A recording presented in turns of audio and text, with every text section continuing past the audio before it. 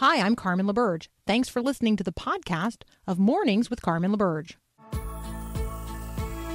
Happy Thanksgiving, and thanks for listening to this special Best of Mornings with Carmen LaBerge on Faith Radio.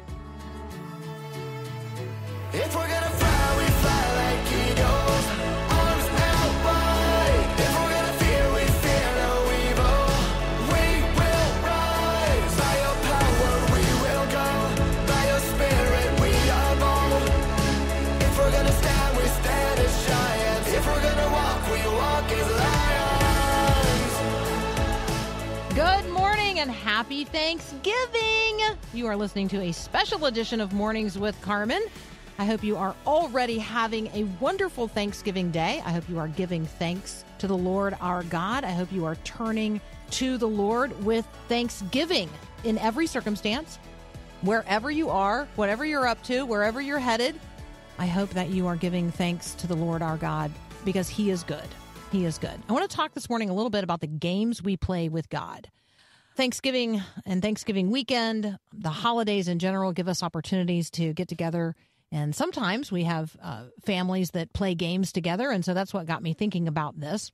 But what are the games that we play with God? So, starting in the Garden of Eden, we've been playing hide and seek, right? You know, the story begins where, you know, we're walking with God in the cool of the day. That is awesome. And then uh, there is this fall into temptation and ultimately into sin, which you could think of actually as a domino, a game of dominoes where you line them up and they all fall over. Um, you could think of dominoes, the domino effect of sin actually coming before the game of hide and seek. But I digress. Ultimately, the game of hide and seek begins, and God shows up to walk with Adam in the cool of the day, and Adam is hiding from God because he is aware of his nakedness um, and he is ashamed. And so he's hiding, and God says, Adam, where are you? Which, of course, God would know where Adam was and he would know why Adam was hiding, but he dignifies Adam by asking. And Adam says, We're hiding. God says, Why are you hiding? Well, because we're ashamed. Well, who why are you ashamed? Because we're naked. Well, who told you you were naked? Like obviously they there's some information being provided here that that is not God oriented. So anyway, the game of hide and seek began. And since then, God has been seeking to save the lost. Jesus actually comes as the one uh, who came to seek and to save the lost. Just think about that. We talk, think about games of hide and seek. What other games are we playing with God? Well, you could think of hide and seek from another vantage point as lost and found. Jesus came to seek and to save what? Well, the lost. That they might be what? Well, that they might be found. So if you're playing hide and seek with God today, let me encourage you to allow yourself to be found. And one of the things I love about the game of hide and seek, and I didn't actually know this as a child, I thought that at the end of the game, when the seeker hadn't successfully found somebody who was hiding and they called out that, well, I thought it was Ollie Ollie Oxenfree. Ollie Ollie Oxenfree. That's what it sounded like to me, but it's actually all in, all in, all in free, which is a statement of grace. And so maybe you need to hear that today. Maybe you need to hear Jesus who came to seek and to save the lost. Maybe you need to hear him call out to you all in, all in, all in free. Aren't you ready to be found? Aren't you tired of hiding? Today's Growing Your Faith verse of the day comes from John chapter 12. Jesus is speaking here, and he says, Those who love their life in this world will lose it. Those who care nothing for their life in this world will keep it for eternity. Anyone who wants to serve me must follow me, because my servants must be where I am, and the Father will honor anyone who serves me. These verses are about love and what we love and who we love and how we love. These verses are about what we're clinging to and what we're releasing, what we're willing to lose, and what we gain in Christ. And so I want to focus in on the love of life. We actually want to be people who are lovers of life, just not lovers of life as if our life is ours to own. So, what does it look like to love in the way that Jesus is talking about loving in a positive way versus the way that he is talking about loving your life in a way that is not God honoring? Because that's a good question for each of us to ask today. God is love. Um, it is God's nature. Love is God's command to us. Love is God's gift. Love is the fruit of God's active presence in the life of a believer. And so these kinds of loves are godly loves love that is patient, love that is kind, love that does not envy or does not boast or is not proud, love that does not dishonor others, is not self seeking, not easily angered, a love that keeps no record of long, wrongs. Love does not delight in evil, but rejoices in the truth. Love always protects, always trusts, always hopes, always perseveres. Love never fails. That's Paul's description of the love of God in 1 Corinthians chapter 13. So when Jesus says those who love their life in this world will lose it, what what is he talking about? Because you know, love is a good thing. Love is a godly thing. Love is God honoring. Well, not all love is God honoring.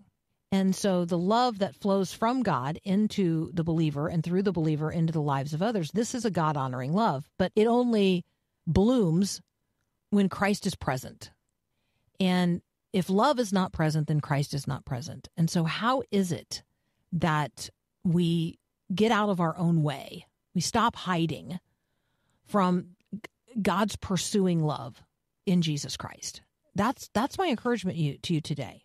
What does it look like to allow yourself to be loved in order that the life that God wants you to have, a life of love, filled with love, expressing love, a conduit of love, with the fruit of love, that's the life God wants you to have. But as long as you are a lover of your own life, as if you own your own life, you can't have the love that's offered in Christ Jesus. They don't both fit inside the same person. And so I'm going to encourage you today to stop playing hide and seek. If you're lost, allow yourself to be found.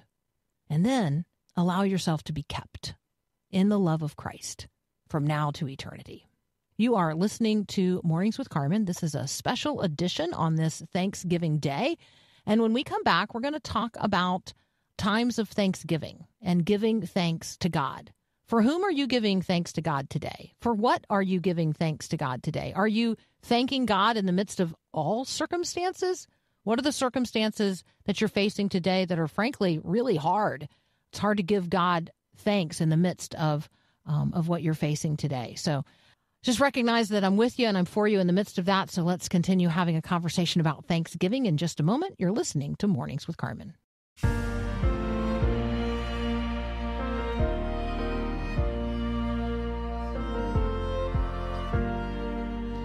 So, in um, the time of Thanksgiving, on this day of Thanksgiving, I am giving thanks to God for you.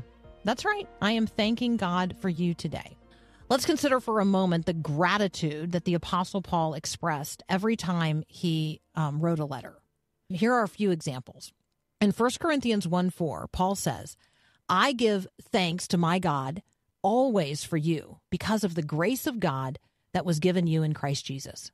So I say that over you today, my friend. I give thanks to God always for you because of the grace of God given you in Christ Jesus. Paul says in Ephesians 1, verses 15 and 16, For this reason, because I have heard of your faith in the Lord Jesus and your love toward all the saints, I do not cease to give thanks for you, remembering you in my prayers. So that's exactly my sense of things today on this Thanksgiving. As you're listening right now, I, I have heard of your faith in the Lord Jesus. I know of your love toward other Christians, toward the saints, and I do not cease to give thanks for you, remembering you in my prayers today. Paul says in Philippians 1, verse 3, I thank my God in all my remembrance of you. That's exactly right. Every time God brings you to mind, every time I think about the fellowship that we have here each and every day on Mornings with Carmen at Faith Radio, I give thanks to God for you. Paul says in Colossians chapter 1, verses 3 and 4, we always thank God, the Father of our Lord Jesus Christ, when we pray for you since we heard of your faith in Christ Jesus and for the love that you have for all the saints.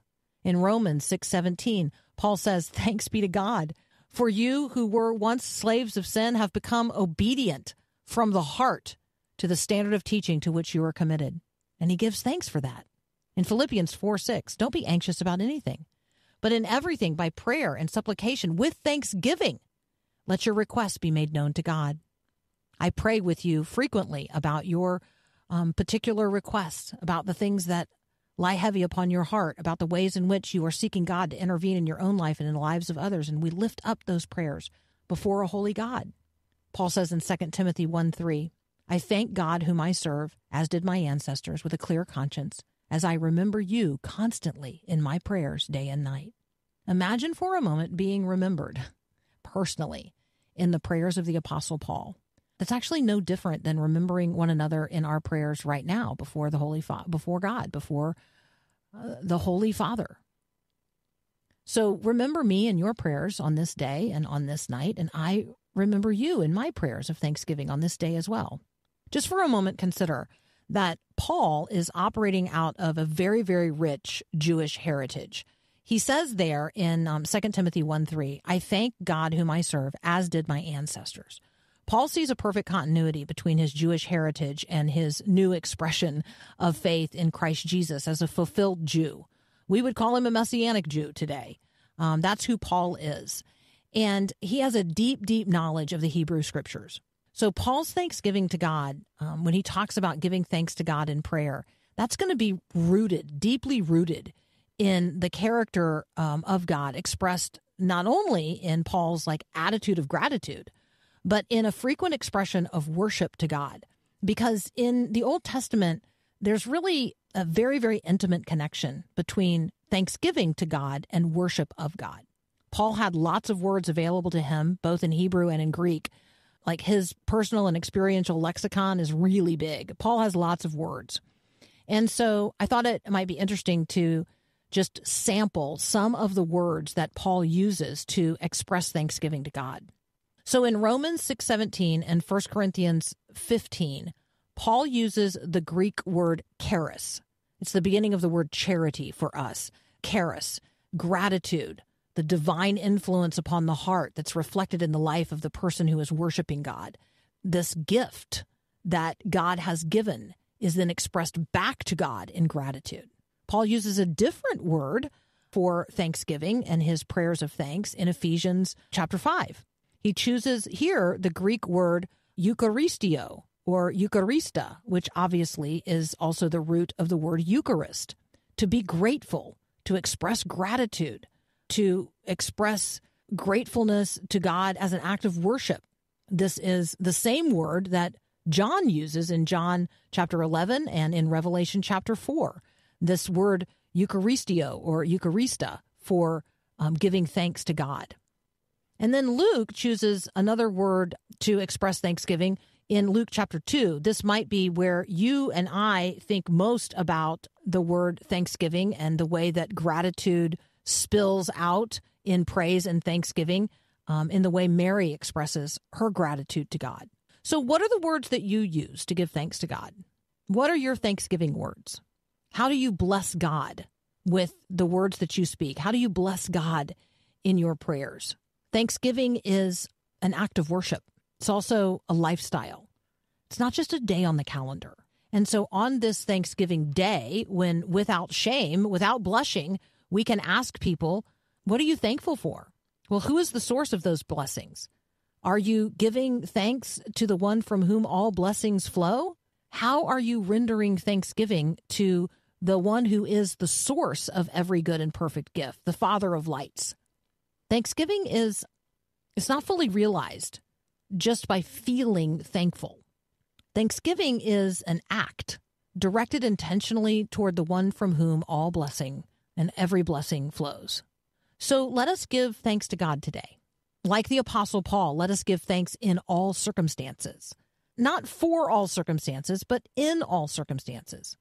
Paul was in Corinth on his second missionary journey when he wrote those words to the Christians in Thessalonica Rejoice always, pray without ceasing, give thanks in all circumstances, for this is the will of God in Christ Jesus for you. Giving thanks in all circumstances, rejoicing always, praying without ceasing. This is the will of God in Christ Jesus for you. So let's follow Paul's lead today as we give thanks to God. Let's make a list of the people of faith that we could encourage today with a note or a letter or a text or an email. Let's reach out to them. I mean, that's what Paul is doing here in writing these letters. He's reaching out to other Christians and he is encouraging them in the life of faith. Could you do that today on this Thanksgiving? Reach out to a fellow believer in the same way that Paul reached out to encourage the Christians of his day? Could you write a letter of thanksgiving to someone else today? So I have prayed these prayers over you today, these prayers of the Apostle Paul, even as Paul prayed them over his brothers and sisters in Christ in his day. He prayed them over fellow saints in Corinth and Ephesus, Rome, Philippi, Colossae. I pray them over you in St. Paul and in Des Moines. I pray them over you in Minnetonka and in Michigan. I pray them over you in Dunwoody and Tampa. I pray them over you in Fresno uh, and in New York. I give thanks to the Lord our God, and I encourage you to do the same. Who could you pray for today? In some other city, some saint somewhere who needs to be encouraged in their walk of faith, in whatever circumstances they're facing, that you are remembering them before the Lord with thanksgiving for the grace he has shown to them, for their acknowledgement of it, and for the life that they have in Christ. On this Thanksgiving, let us be people who are quick to give thanks to the Lord our God. You're listening to Mornings with Carmen. I'm Carmen LaBerge, host of Mornings with Carmen. Have you noticed that 2023 is coming to a close? It's about over. We're about to turn that calendar page over to 2024. And I don't know about you, but I'm looking for more in 2024. More faith radio, more opportunities to connect faith to life, more friends in Christ walking out their faith together in the world that God so loves. Would you consider learning more about supporting Faith Radio? Visit us at myfaithradio.com.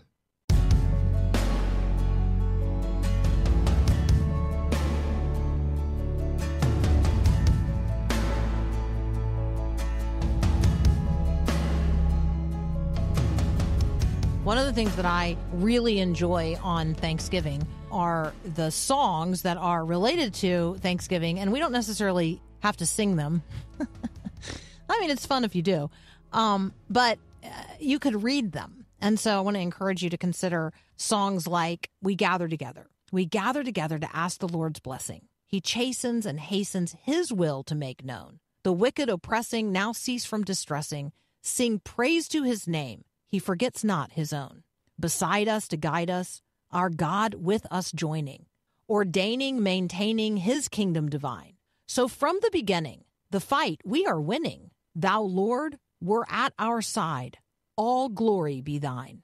We all do extol thee, thou leader triumphant, and pray that thou still our defender will be. Let thy congregation escape tribulation. Thy name be ever praised. O Lord, make us free. Do you have a favorite song of thanksgiving? Maybe it's the doxology. Praise God from whom all blessings flow. Praise him, all creatures here below. Praise him above the heavenly host. Praise Father, Son, and Holy Ghost. Is there a song of thanksgiving that bubbles up within you? Is there a hymn of thanksgiving you you love to sing? You could turn it into a prayer today. Hymns are sung prayers. Maybe uh, for you on Thanksgiving, it is for the beauty of the earth, the um, the Pierpoint hymn from the very very early 1900s or late 1800s. For the beauty of the earth, for the glory of the skies, for the love from which our birth over and around us lies. Lord of all, to thee we raise this our hymn of grateful praise. For the beauty of each hour, of the day and of the night, hill and vale and tree and flower, sun and moon and stars of light. Lord of all, to thee we raise this our hymn of grateful praise. For the joy of human love, brother, sister, parent, child, friends on earth and friends above, for all gentle thoughts and mild. Lord of all, to thee we raise this our hymn of grateful praise. For yourself, best gift divine, to the world so freely given, agent of God's grand design, peace on earth and joy in heaven. Lord of all, to thee we raise this our hymn of grateful praise. What are your prayers of thanksgiving today? What are the songs of thanksgiving um, you are singing in your heart of hearts and in your life together? I'm noting that um, a record number of folks are on the road today traveling for Thanksgiving. Maybe that's you. Maybe you're listening right now on your way to grandma's house. Through the woods we go um, to grandma's house for Thanksgiving. I don't know. Hopefully, you're not traveling through the snow, but it's quite possible that you are. 55 million people traveling for Thanksgiving, most of them by car. And so, if that's you, may God grant you grace and mercy um, on this particular Thanksgiving Day. Be patient with others, go slow. And every time you are stopped, like every time the traffic stops, I want you to lift up a prayer of concern for those who are at the front of that because their day has just been disrupted in a way that is far worse than being inconvenienced by the extra time it's now going to take you to get to the place where you had planned to be. So let's be praying today for first responders. Let's be praying today for people who are working on this uh, Thanksgiving Day. Let's be praying for those who are spending this day by themselves. And if you are by yourself today, I want you to consider seeking out an opportunity to serve someone else. And you're going to say to yourself, well, that is super counterintuitive. Like, I'm the one that's alone. I'm the one that's lonely. People should come serve me. Yeah, that's not going to go very well for you. Like, I'm just telling you in advance, it would be better for you and certainly better for others if you would take the opportunity today to find a way to serve someone else. There is, I guarantee you, someone out there whom you could serve. You may not be able to serve them a meal, but you could serve up a conversation. You could serve up a smile. You could let someone else know that they are seen and that they are cared about and that God is worthy to be praised on this Thanksgiving Day. He is worthy of our thanks and our gratitude, regardless of the circumstances we find ourselves in. So, stuck in traffic, God is still worthy to be praised. Alone on Thanksgiving, God is still worthy to be praised. Not enough money this year for a turkey, God is still worthy to be praised. We give thanks to God in the midst of all circumstances not because of all circumstances, but in the midst of all circumstances. We are a people whose hearts are filled with gratitude. Every good and perfect gift flows from the Father above. And so think today about all the things for which you are grateful to God. Make that list, that litany of reasons, the, the list of people, the gifts of material provision, and the immaterial gifts as well. Thank God today for that which is stored up in heaven. Thank God today for, for the gift of prayer, certainly for the gift of Jesus. Thank God today for the gift of the Holy Spirit. Thank God today for the gift of the Great Commission. God has actually given you something on earth to do, a purpose. And it's a privilege to know what that purpose is. And then it's a privilege to have everything that's necessary for the accomplishing of God's will in your life. God has already prepared in advance good works for you to do, and God has poured out every spiritual blessing necessary for the accomplishing of His will in and through your life. Think about that today. There is nothing that you need to accomplish God's will in your life that He has not already freely given. Consider that. So, now what makes it onto your count, count your blessing list now? Count your blessings, name them one by one. Well, let's start with um, the day that God has given you, the gift of life itself the provision of, of the scriptures of the Old and New Testaments, the gift of prayer, the gift of song, the access to the very throne room of the living God. My friend, you are rich in blessings today. Let's be sure that we're counting the things that matter and we are not counting um, all the all the things for which we might be angry or resentful. You know, counting all the things that you know. Well, I got I got a list. Yeah. Once you throw that list out for a moment and make a list of all of the ways in which God has extended himself because of his character, because of his great love for you, thank him today for daily bread. And even if you say, you know what? I I don't have what others have today in terms of what's on the Thanksgiving buffet or who's seated around the Thanksgiving table. Well, give thanks to God for his fellowship. Sit down at table fellowship with the Lord today and break bread with him. And then thank him that Christ has been made known to you in the breaking of the bread. Could you do that today? Could you do that with someone else? Could the day be redeemed in that particular way, in this particular season? How far would you go for Thanksgiving? You know, there's this time that 10 lepers come to Jesus um, to be healed, and he heals them all, but only one returns to give thanks. And he says, with sadness, We're not all 10 healed? Yes, yes, Lord, all 10 were healed. Well, where are the other nine? Are there um are there things that we have failed to give thanks to God for? Things that we have credited to others?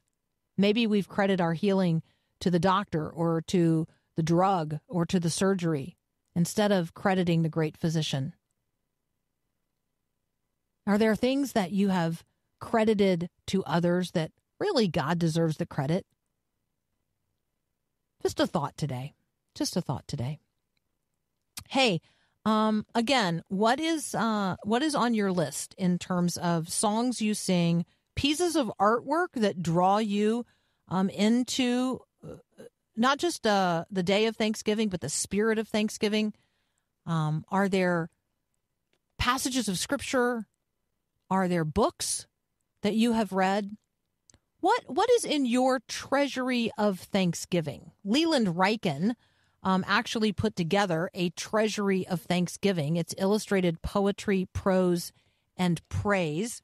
Um, it's a it's an incredible. It is a work of art. The book itself is a work of art, and it contains works of art, and it provides us opportunity to have like gateways into genuine Thanksgiving. So on this Thanksgiving Day Listen during this special edition of Mornings with Carmen to my conversation with Leland Ryken, a treasury of Thanksgiving.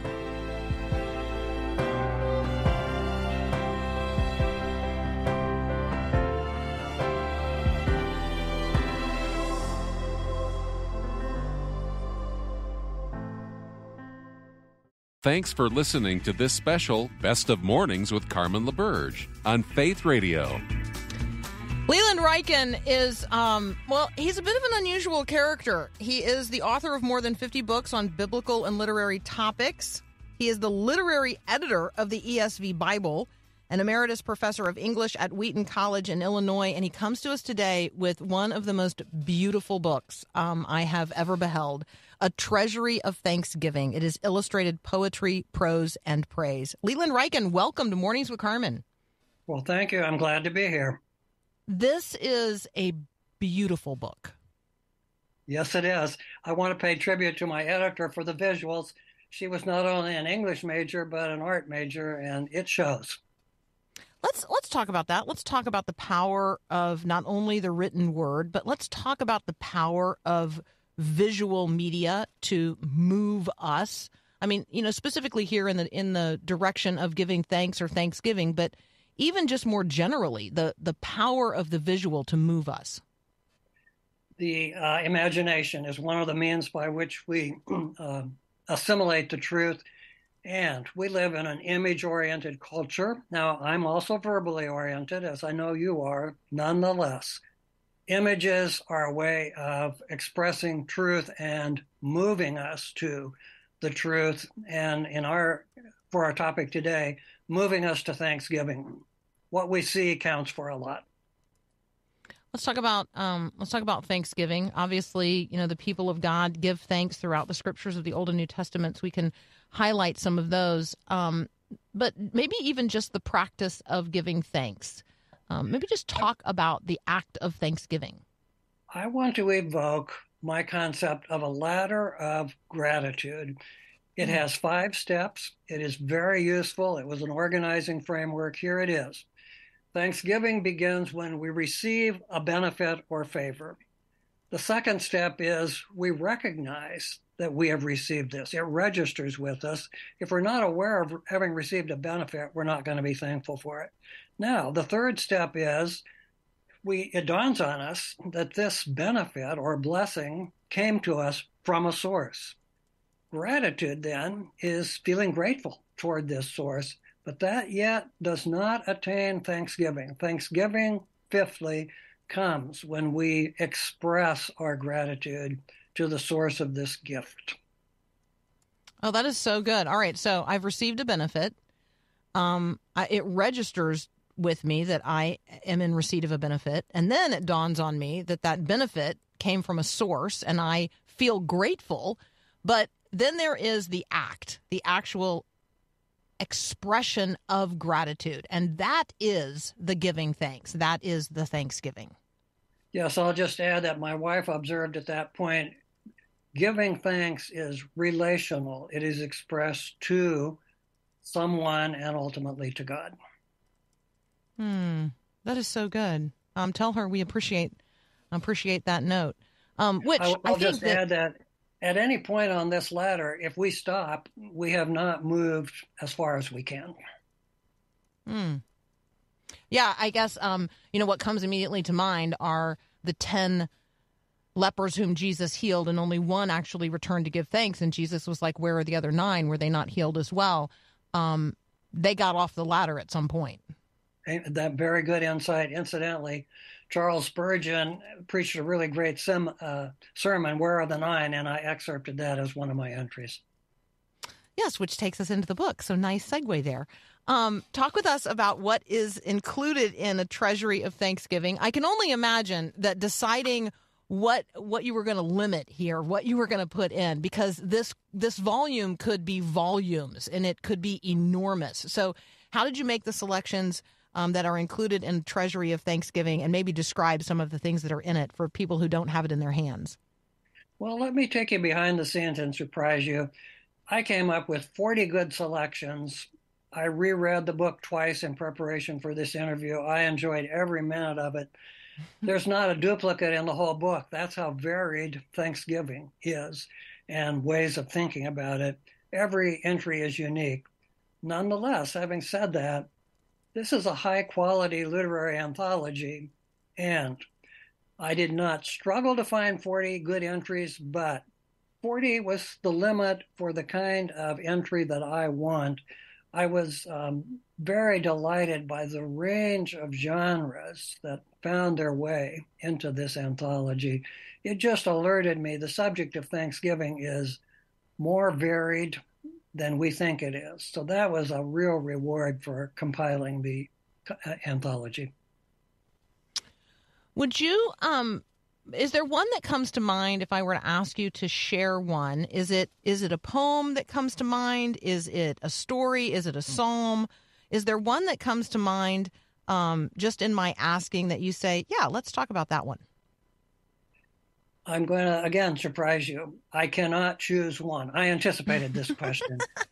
um, they're all fa- a favorite with me. I was just amazed when I reread the volume. Every one had its own insight and edification and delight. But if we're uh, looking for one, why not the first entry? It is the hymn, Now Thank We All Our God. Um, the canon of standard Thanksgiving hymns that are sung in um, church services um, is not as large as we think. I myself speak of the five standard ones. Now, I did include more than five in the anthology, but I do believe that kind of the prototypical Thanksgiving text is Now Thank We All Our God. It was written by a um, um, pastor in Germany who lived through a terrible decade. He presided over 4,000 funerals during his stay. He arrived in the city of Eilenburg the year before the Thirty Years' War. He died the year after. And yet he is the one who has this exuberant, all out call to thanksgiving. Now thank we all our God with heart and hands and voices. And it just goes from there um, he can't contain himself regarding the gratitude he feels. So it's it's a particularly um, it, epitomizing text, I would say. But I say again, I read all the entries with equal delight. It won't surprise you that the Treasury of Thanksgiving, which is illustrated poetry, prose, and praise, it won't surprise you that in addition to hymns, there are psalms um, of Thanksgiving included in here. There are also excerpts from the Book of Common Prayer. I particularly enjoyed those. I thought that the entry on page 77 was um, was so much like what is happening today in um, in the effort to acknowledge um, every moment holy and some some written anthologies of of prayers that have been written, you know, in a contemporary period of time that evoke the same spirit, like how in every moment, regardless of what's happening, for rain, for abundant provision, for deliverance from illness, for a mother's safe delivery of a child. Um, at the communion service, those are the entries on page 77 and 78 of A Treasury of Thanksgiving. But they reminded me of sort of this contemporary effort to regard every moment as holy and find reason in every moment to give God thanks. Not that we're Amen. necessarily giving thanks for what is happening, but we are giving thanks in the midst of what is happening. Amen. There are some wonderful. There are some wonderful female uh, poets in the anthology. Let me just add, they they had a really beautiful touch. You want to reflect on one of those? Um, the the the uh, women that I included are little known poets. Uh, I think of one who's the, the author escapes me, but she praises God for the seemingly negative features of life. She she structures her poem around um, two line units in in each four line stanza. I don't thank you for X, and she names something that we would think would be the best of the best, uh, a material blessing. But instead, she thanks God for what we would regard as an experience we might try to avoid, and yet she expresses thanks for them. Mm, so good. So good. There are um, readings and excerpts in this book from some very classical pieces of literature that you may not have thought to yourself, wow, there would be um, something for the treasury of Thanksgiving in Robinson Crusoe, but there is. Um, there might not be something you would you would say, you know, like immediately in your mind, oh, you know, that would be an opportunity to give thanks, or um, a piece of literature to uh, to focus on um, in terms of Thanksgiving, and yet there it is. Um, and so I do think there's a lot of surprise and delight here. I appreciated Martin Luther's rendering thanks to our Maker. Um, I just think there are some wonderful classic reflections in here as well. Um, again, uh, in addition to passages of scripture and prayers from the Common Book of Prayer, just just totally delightful. Again, we're talking with Leland Ryken. It is a treasury of Thanksgiving, illustrated poetry, prose, and praise. Do you have a favorite passage of scripture that comes to mind or that you turn to um, on Thanksgiving? Do you have a favorite hymn um, or song in your treasury? Maybe there's a piece of art that comes to mind when um, when I just say um, Thanksgiving. So, in addition to what is going to be on your Thanksgiving table, what is um, what's going to be in your Thanksgiving conversation? What are you going to weave into the conversation on that day that will evoke Thanksgiving to God? And maybe um, take a moment to consider where you are on this ladder of gratitude. Do you recognize that you have received a benefit? Has it registered as such? Has it dawned on you that that benefit came from a source and that that source is God? Do you feel grateful to God for that? And then have you expressed that gratitude? Have you actually taken the step of thanksgiving, that relational connection, giving thanks to God for the benefits, um, the blessings, the goodness that He has poured into your life? Um, we're going to continue our conversation with Leland Ryken here in just a moment. You're listening to Mornings with Carmen. It might feel like it's too late, but it is not too late to make a difference this year. There is still time. Faith Radio is listener supported, and you make it possible to reach more people in more places with the good news of Jesus. But time is running out, so before the end of the year, give your best gift to make an eternal impact by calling or texting the word GIVE to 877 933 2484 or by clicking the donate button at myfaithradio.com. Thank you so much.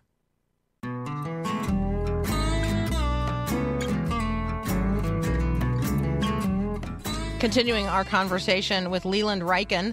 Among other things, he is now the author of A Treasury of Thanksgiving, illustrated poetry, prose, and praise. Leland, why don't we um, give folks a sample of, of what is in the book? Would you be willing to read to us from pages 152 and 153 the Thomas A. Kempis piece, Giving Thanks When Our Station in Life is Modest? Yes. Let me uh, give just a bit of context here. Uh, this is from The Imitation of Christ. That book, according to many sources, is next to the Bible, the most translated book in the world. I am the one who gave this excerpt the title, Giving Thanks When Our Station in Life is Modest. I happen to resonate that with that because I come from humble stock, and in fact, I self identify right to the present day as the farm boy from Iowa. So here is Thomas A. Kempis writing on the subject, my heading, Giving Thanks When Our Station in Life is Modest. O Lord, grant me to be mindful of your benefits, both general and special, with great reverence and diligent meditation, that thus I may be able worthily to give you thanks. I know that I cannot render to you due thanks for even the least of your mercies. I am unworthy of all the good things that you have given me, and when I consider your majesty, my spirit fails. All things that we have in soul and body, and whatsoever things we possess, whether outwardly or inwardly, naturally or supernaturally, are your good gifts, and prove that you, from whom we have received all, are good, gentle, and kind. All things come from you. Therefore, in all things, you should be thanked. You know what is best to be given to each person, why this person has less and that more is not for us, but for you to understand. Wherefore, O Lord God, I reckon it a great benefit not to have many things that bring praise and glory outwardly and after the thought of people. Nothing should be so, nothing should so rejoice the one who loves you and knows your benefits as your will in him and the good pleasure of your eternal providence, wherewith he ought to be so contented and comforted that he would willingly be held of small and low account, rather than to be more honorable and greater in the world than others. For your will and the love of your honor ought to go before all things, and to please and comfort him more than all benefits that are given or may be given to himself. Be thankful, therefore, for the smallest blessing, and you shall be worthy to receive greater. For the least be unto you even the greatest and let that which is of little account be unto you as a special gift. If the majesty of the giver be considered, nothing that is given shall seem small and of no worth, for that is not a small thing that is given by the Most High God. Whoever seeks to retain the favor of God needs to be thankful for the favor that is given and patient in respect of that which is taken away. Let him pray that it may return and be humble so that he not lose it. God is generous in giving us the grace of comfort, but people do ill in not giving God thanks for it. Thus, the gifts of grace are not able to flow unto us because we are ungrateful to the author of them and do not return them wholly to the fountain from whence they flow. For grace always becomes the portion of him who is grateful, and God takes it away from the proud and gives it to the humble. The saints of God are those who ascribe to God all the good that they have received, and they desire that God shall be praised above all things. Therefore, mm. give thanks to God for his grace. That is beautiful. That is beautiful. Yeah. Thank you so much. That is one of the entries in a treasury of thanksgiving, the illustrated poetry, prose, and praise. Um, the voice you heard, Leland Ryken. Also, the the author, compiler, editor of the book. Um, Leland, um, can I ask you a different question about a different thing? Sure. so, I think it's hard for some of us to imagine what the editor um, of a Bible would do and what the literary editor of a Bible would do. So, can you explain to us when you served as the literary editor of the ESV, like what were you doing? It was a very easy job for a very simple reason. All of the translators were people of excellent literary and stylistic intuitions.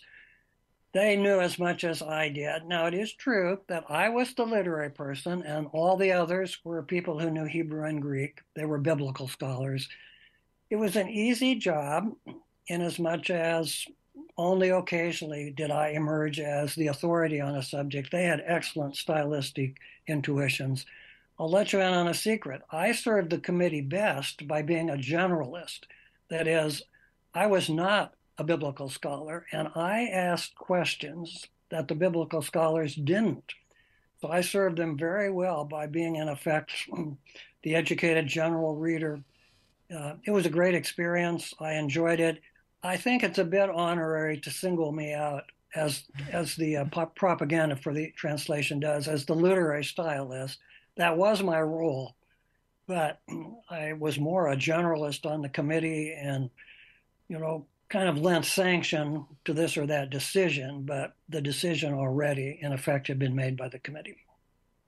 Well, thank you for your work. Um, for those of us who enjoy the ESV and rely upon it, um, just just a statement of gratitude. I I recognize um, the benefit that I receive from the labor of those who uh, translated and um, and then edited and then produced um, the ESV. And so, thank you for that good work. I just wanted to express my gratitude to you.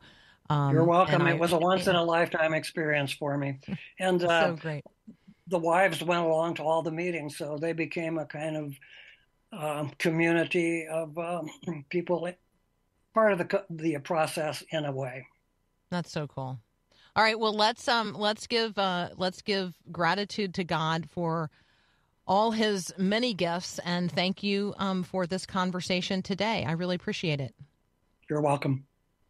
That is Leland Ryken. Um, we are grateful to God for this gift produced through his labor, a treasury of thanksgiving.